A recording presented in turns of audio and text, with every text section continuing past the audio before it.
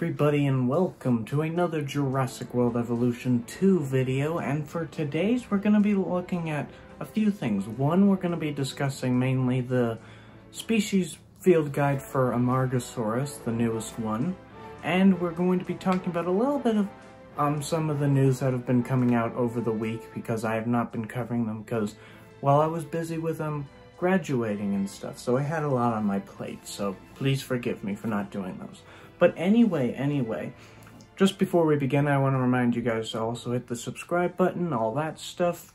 Leave a like, because it'll help expand the channel. But with that, I say we begin.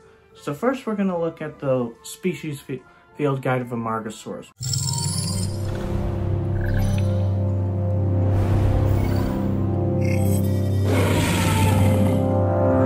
Amargasaurus, one of the smaller members of the sauropods, continues to draw amazement thanks to its astonishing spinal spikes. These neural spines have been hypothesized as having many uses, but research is still ongoing. Has a few little things that um, are important.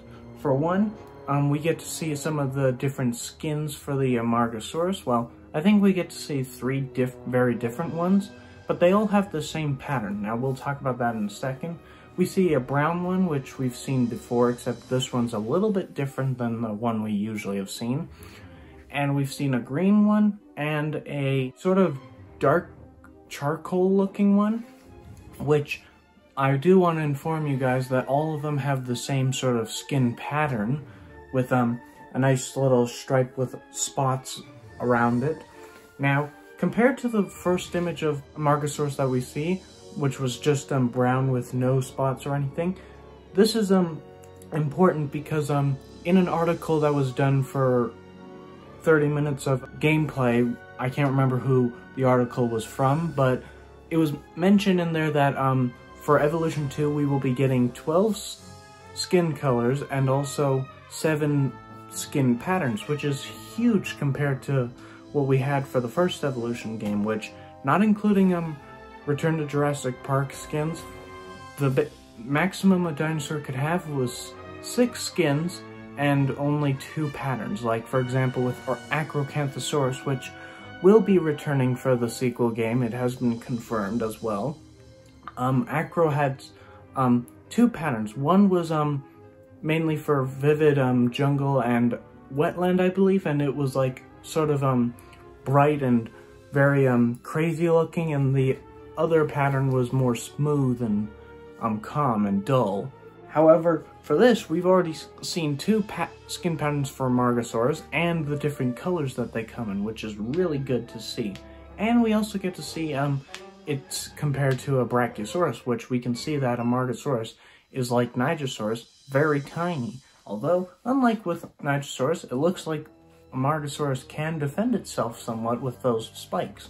Another thing I do want to mention, which is um, the Brachiosaurus itself. While we haven't gotten a field guide for it, yet we have seen that it is eating off the trees, which we know that in an, in an article, um, it was mentioned that dinosaurs will no longer be eating from feeders, but they will be eating from some plants that you can put on the ground. However, with those um, plants that you'll be giving for the dinosaurs food, Frontier has confirmed in a live stream that they just did, I think, depending on when I upload this video, it could be the same day or the day before, they confirmed that this means these plants will actually be paleobotany plants, which, yes, we have confirmation that paleobotany is coming to the sequel game since it was very popular with um, Jurassic World Evolution when it came with Claire's Sanctuary. And, and this is really good, because I, I was wondering what things were going to be brought from the game like that were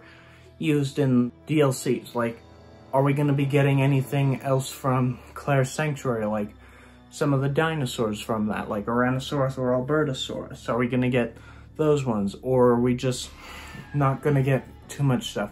Now, with that out of the way, I do want to talk about the biggest thing for the trailer, which has been shown off in um, an article as well and the live stream.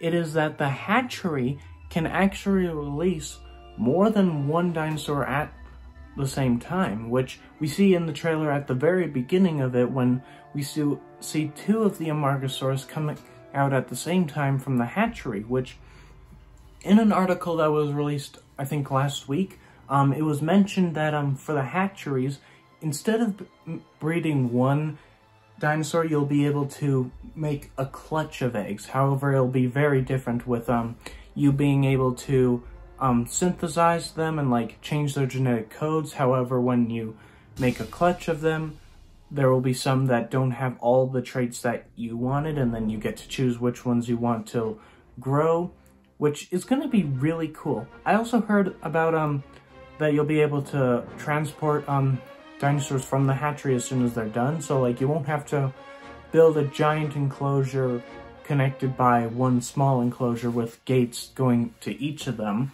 Now you can just um, have one hatchery, and then like instantly when a dinosaur is done, you can have it transported all the way to whatever enclosure you need to, which is going to be really nice for the game. Now, there isn't too much else to go into the species field guide. It's a nice little field guide to see Amargasaurus. I was personally hoping for something like a pterosaur or an aquatic reptile, but probably they're just waiting a little bit more until we get closer to the release, because it makes sense, building up the excitement for them. It's understandable, but I do like the Amargasaurus. I'm really glad to see it, although I do wonder if it will be able to defend itself against um, predators. I mean, look at it. You see that spiked neck and you're like, Dominus is going to have a tough time with this one, even if it is a small sauropod. But anyway, guys, what do you think about this? Are you excited about Jurassic World Evolution 2 even more with this bit of news and this field guide? And what do you think of the Amargasaurus?